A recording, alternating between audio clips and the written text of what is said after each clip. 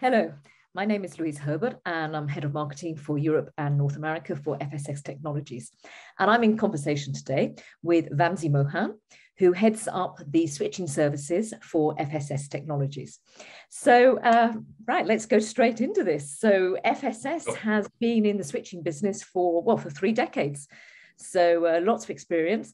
And I was wondering whether Vamsi, just to start the conversation, maybe if you can just talk a little bit about how we started off and, and the history. Yeah, yes. FSS has been uh, completed three decades of switching experience. And if you look at this experience, we can divide this into three different segments, right? The first uh, segment or phase is between 1991, when the company has been originated, till 2001. Uh, we call this as a switch establishment phase. Okay, so uh, this is the time uh, when all the new switches were implemented in the country. And we have the privilege of implementing the first sw uh, ATM switch in, in, in the country. And uh, uh, we have also have the pri privilege to implement the first shared payment network switch in India. this is called Swadhan. Uh, this is in 1996, it was implemented. And uh, uh, we had some good number of customers to start with, at least six to 10 range. And and and these, these people were establishing uh, the concentration was more on the uh, establishing the ATMs, cards, and interchanges, etc. Mm-hmm. Uh, so this is a different kind of dimension. Uh, then the sec- coming to the second phase, that is between 2001 to 2010. Uh, we call this as uh, uh an area of uh, ancillary products. This is where all the subsidiary systems to the switch were evolved, like card management systems, reconciliation systems, and many other payment systems like electronic bill payment, kind of systems which got evolved. And this is the time, interestingly, uh, there is a shared payment network like bilaterals and uh, multilaterals were also involved. There were a lot of multilaterals which were running in the country. And uh, we had uh, the privilege of running the biggest bilateral network in the country. Uh, so th this was pretty successful uh, before the NFS formed by NPCI and RBI. this was pretty successful till then. And uh, the third phase uh, from 2010 to till date, uh, we uh, what we have seen is the age of the new uh, delivery channels like mobiles uh, or UPIs, unified payment interfaces, and so on and so forth. And this is interestingly, this is the age where we have seen there is a definite need to look beyond a card for a transactions in payments. so something like a social security number, we call it as Aadhaar in India so uh, that can become a primary key or a mobile number can become a primary key. So there is definite need what has been evolved over a period of time to look at beyond a card or non-card centric switching solution. So that is what has come in this area. So uh, we had tied up with uh, uh, Lusis Payments for a Tango switching solution, which is a next-gen switch, which can cater to all these requirements. So that's a brief about the history. Luce. Quite a quite a quite a lot of history. so uh, um, really a very rich experience as well. So coming from that experience, what would you say are the key key benefits that FSS is really driving here in the switching yeah. space? When when you look at uh, FSS, because I've been privileged to work with this organization for 23 years. So what I've seen over a period of time is what is the main difference between uh, the other uh, switching providers and FSS as a switching provider is we give end-to-end offer. So we don't just sell, implement, and walk off from the customer side. We do run the switching. Right. right? So under subsidiary uh, concepts like consultation or implementation or migration or whatever, customizations, whatever you call it. So we do all of them and we plan it and we we do end-to-end implementation. So we have we have been known for doing end-to-end implementations, and that is the main reason that the customers for whom we have sold our earlier switching solution, mm-hmm. most of them are still with us. Oh, excellent! By virtue of operations and other things, so we do we do cater to, though we are not selling those uh, switching solutions now, but still they do consult us for any kind of migrations or any kind of uh, uh, services which are required. Mm. And you mentioned migrations, and obviously going end to end, there's an awful lot of challenges. Can you maybe talk me through a little bit how FSS is helping, particularly in that migration process? When you look at uh, a switch migration, which is uh, slightly complex when compared with other uh, small systems, because they cater to one particular delivery channel. Uh, a switch, as I said earlier, also it can cater to multiple delivery channels. Like it's not just ATMs or point of sale. Nowadays, it, it should take care of other uh, interchange tra transactions and other system interfaces as well. Like for example, an internet banking uh, can do a transaction routing through a switch because the card and the internet banking user ID linkage can be established and that can be done through a switch. So these, so it, it becomes very complex. So briefly, if you look at any switch migration, there are four major points what we need to take in general. One is understanding of the requirement. A thorough understanding of, uh, understanding of the requirement is very much essential because this will help in the next points that I'm going to uh, refer. Uh, a good understanding of uh, the existing functionalities and the uh, scale that the system is running or the switch system is running is very essential. Uh, so post that, the second point, the most critical point is the design. So design is something which will cater to the, uh, the next two uh, points, which are planning and execution. For doing a better planning and for, for doing a better execution, definitely a design. This is where we identify uh, uh tools, uh, the, the migration objectives, etc., that we need to consider and we need to design it in such a manner. Uh, this will also give a good a design, will take care of a good migration methodology. Mm. There are some interesting examples what I can share uh, in the yes. upcoming things. But uh, yeah. but for example, uh, one of the most largest migrations that we have done, uh, we have not used any migration to, for data migration because what we found is migration uh, migrate migration using data migration using a migration tool will take a longer time when mm-hmm. compared to do it just a tape backup and send it physically to a other city. Yes so, so what a migration tool would have given a, a two or three months time frame, mm. right? We could achieve it in 10 days. Oh, wow. This, so these kind of interesting uh, scenarios will emerge when, when uh, the experience of working with the same customer for, uh, for, a, uh, for a larger time will bring. So uh, coming back to the uh, point, the third one is definitely the project planning. A project planning need to be done in a proper manner uh, the way we do uh, uh, what we have learned over a period of time is not to just plan it for the task because mm-hmm. any project will be divided into multiple project tasks. So we don't do it only for the task. We also do a backup plan for a task.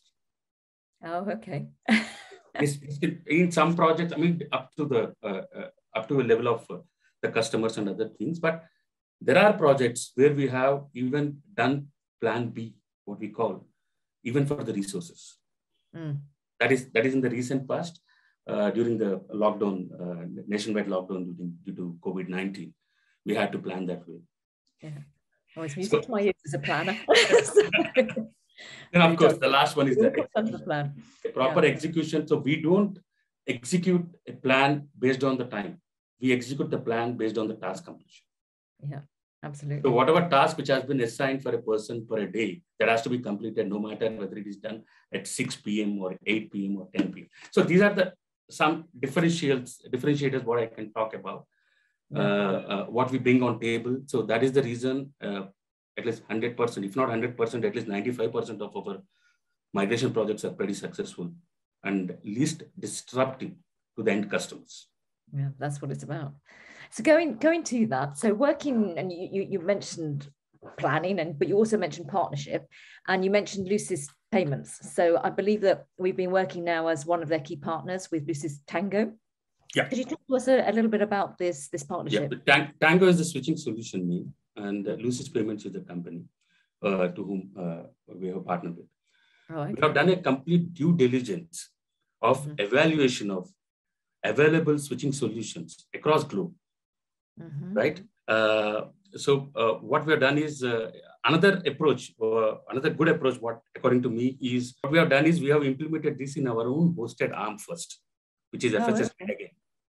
So because when compared with any customer environment, our FSSNet environment is pretty complex because there are multiple banks involved in this, multiple functionalities, and 90 to 95% of the functionalities which are available with the market or customer, any customer, is already there in FSSNet. So we have evaluated uh, uh, all the uh, global, uh, globally available uh, switching solutions, and finally we have zeroed in on Lusis Tango. Because for this uh, evaluation, there were three main key parameters what we have thought about it. One is the switching solution, what we are going to partner with, or what we are going to redistribute and implement and sell, should be a true platform, operating system, and database independent. Oh, okay. Right. So uh, that is one of the key uh, parameters. And second one, what we had also thought, coming back to the uh, last point, what I mentioned in the first question, uh, that is about a non-card centric uh, uh, switching solution, what we need to really look at it, because what we can see in future is definitely the card-based transactions might go less when compared. It should also cater to other uh, uh, primary keys like mobile number or a social security number or other for that matter. Mm-hmm. Uh, the third one is uh, the third key factor. What we have considered is to look at a proper roadmap, which should cater to the upcoming market needs. Right, there should be always a, a flexible kind of roadmap. What we were looking mm-hmm. at.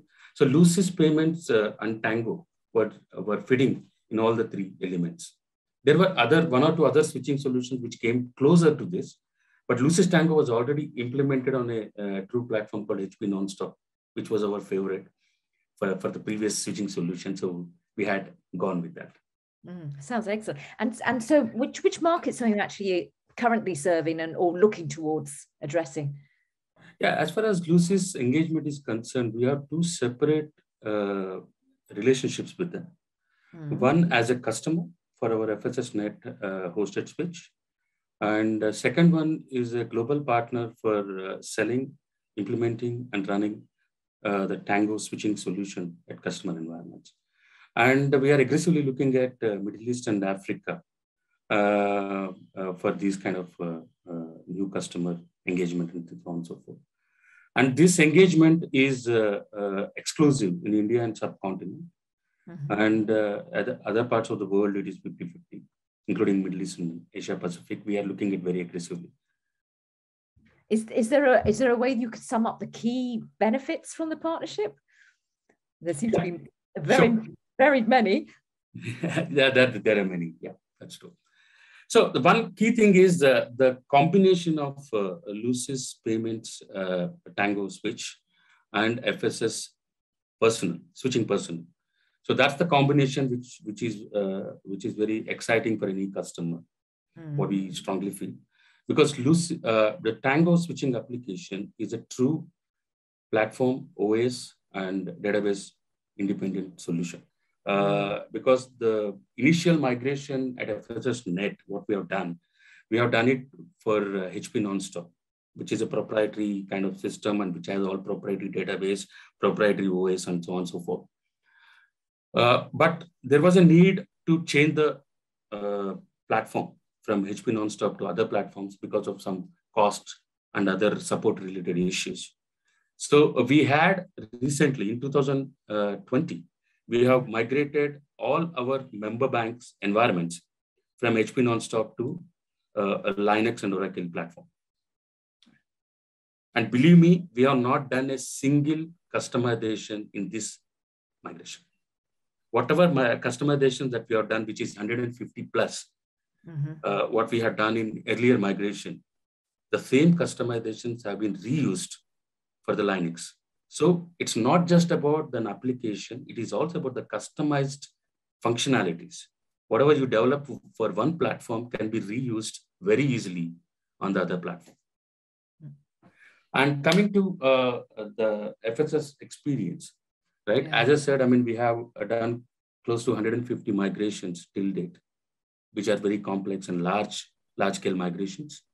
And uh, uh, uh, we have a large uh, pool of switching resources, uh, whom most of them are, we call them as T professionals. Mm-hmm. They have the breadth as well as the depth of the payments domain knowledge.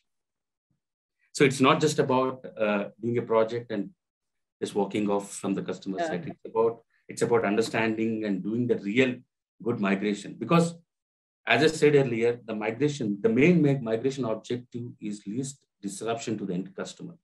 Mm. So our customers are banks. Most of them are banks, and their customers should not get affected. Mm. And, and I can probably say about 70 to 80% of our migrations, which are uh, not even known to any of the end customers. Yeah. yeah. Okay. And and in terms of you talk about markets, but are you also looking beyond banks, non-banks? Yes, yes, definitely, definitely. Because uh, we have a live live uh, example now. Uh, we recently we have got an order from one of the top three white label ATM players in India. Oh yeah. Uh, yeah. So we are uh, the uh, it's in, it's under implementation, but sooner we are going to go live with them. And it's not just limited to banks. banks because banks cater to both what we call acquiring, that's the terminal ownership, as well as the issuance piece, which is the authorization piece. Whereas we, it can be, uh, it is modular. So we can we can sell it as an acquiring switch, we can sell it as a issuing switch, uh, as per the requirement, or we can also give it as the interface. That is also mm-hmm. possible. So we also have one more live example, like but we also have uh, Visa VAP and Mastercard MIP implemented in our same FSS net, and we have some customers where for other uh, our other payment applications like uh, uh, payment gateway and point of sale, etc. So uh, the switch acts as a interface to them between yes. Visa VAP and uh, these applications. So it, it, can be implemented anywhere. And we are also looking at beyond banks for uh, such an application because it, as I said again, it is platform, OS, and database, cloud agnostic. Mm-hmm. It is also delivery channel agnostic. So you can run any kind of delivery channel and run it. So we are pretty much excited about uh, the new uh, age uh, customers like the WLA players or uh, point of sale acquirers and so on and so forth. Excellent. I was going to say, you took the words out of my mouth. I was going to say it's very future proof. yeah, absolutely. So I'm going to end the conversation now with a little bit of, you know, forward vision. Um, when it's not even forward vision, it's, it's, it's locked into today, which is all about cloud. Everybody's talking about cloud. So where does switching and the cloud, where does that work? And, and is that an area that, uh, that FSS has capabilities in? So, so uh, uh, Tango is completely built on microservices. Uh, even the current application that we run, run on a, a standalone servers uh, run with uh, different kind of SOA architecture. Like every process, every switch process has multiple services Mm-hmm. So you can have as many services which are required as per the need. So that architecture is very much available. So it can be done, uh, a lift and shift can be done very easily. And they have also, uh, uh, Lusis has already tested uh, this in some of the clouds. Mm-hmm. Uh, I'm not sure whether they have done any implementation, live implementation as of now, but what I heard was, I mean, they have done close to uh, a 20,000 TPS testing already done for one of the customers. So it is already, it's a cloud ready application. So whenever there is a need, it can be done. However, uh, some of the banks do have reservations to move uh, the switch yeah. kind of platform into the cloud because yeah. of the data privacy and data sensitivity. Exactly. Yeah, yeah. Uh, so looking at that, I think uh, uh, whenever there is a need, uh, the platform is the solution is ready, cloud ready. We can yeah. do it whenever it, there is a need. Perfect. Sounds like a, another new chapter then. in what is a really great story for FSS. So thank you so much. It's really been a real pleasure. And uh, I'd like to say thank you to everybody for listening in. Thank you. Yeah, it's my pleasure. Thank you.